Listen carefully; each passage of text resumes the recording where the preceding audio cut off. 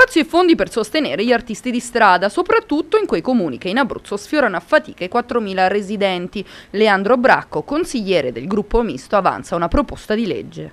Dei 305 comuni che compongono il nostro Abruzzo, 239, quindi la stragrande maggioranza, è abitata da neanche 4.000 abitanti a testa. Cosa vuol dire questo? Vuol dire che appunto tramite la cultura di strada io mi auguro e sono fiducioso del fatto che appunto tramite la cultura di strada possa, possa diciamo, tornare quella, vitali quella vitalità che a oggi purtroppo manca o totalmente o in parte nella stragrande maggioranza dei comuni abruzzesi e mi riferisco prevalentemente all'entroterra. Per ottenere una più larga diffusione di questa cultura, Bracco chiede che vengano destinati 300.000 euro da ripartire tra i diversi comuni.